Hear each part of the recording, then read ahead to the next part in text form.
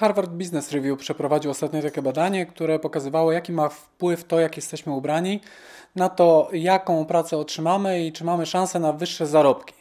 I to pokazało, że e, osoby, które ubierają się w znane marki i szczególnie jeśli są na rozmowie i widać tą markę, mają e, większe szanse na to, żeby tą pracę wymarzoną otrzymać i jeszcze mają możliwość negocjowania wyższego wynagrodzenia.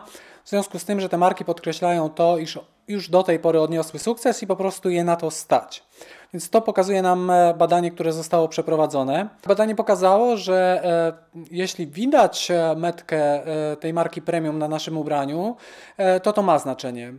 To samo ubranie, ale bez widocznej metki już takiego wrażenia nam nie daje. W moim odczuciu chodzi tak naprawdę o to pierwsze wrażenie, czyli o to, jak jesteśmy ubrani, w zależności od tego, na, o jakie stanowisko się staramy, na jakim poziomie.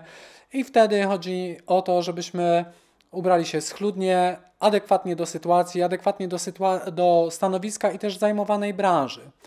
E, ubiór i te marki premium e, mogą, mieć, e, mogą być dwojako odebrane. Mogą być odebrane jako coś, co jest ponad miarę, w zależności od tego, gdzie się poruszamy i o jakie stanowisko i na jakie stanowisko aplikujemy.